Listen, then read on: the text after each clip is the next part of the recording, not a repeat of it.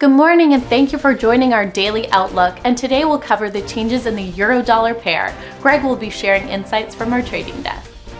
The gold dropped 0.4% against the dollar in the last session.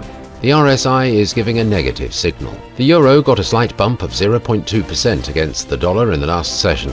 The CCI is giving a positive signal. The pound dollar pair made a minor upwards correction in the last session, rising 0.1%. The Williams indicator is giving a positive signal. The Bitcoin dropped 0.3% against the dollar in the last session. The stochastic indicator is giving a negative signal.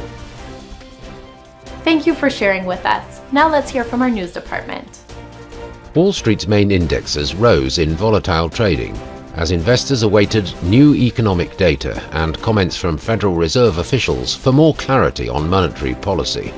Megacaps Apple and Microsoft rose 2.8% and 1.58% respectively, in a rebound from early losses. Tether is introducing a gold-backed stablecoin pegged to the United States dollar. It is the first tethered asset, the issuer declared. The new coin is called Alloy and is mintable on the new Alloy by Tether platform. Shares of GameStop tumbled after CEO Ryan Cohen told investors that the video game retailer plans to operate a smaller network of stores, but did not provide details on what it intends to do with its cash pile. Thank you. Now let's hear today's most important economic events. Germany's ZEW survey, Current Situation, will be released at 9 GMT.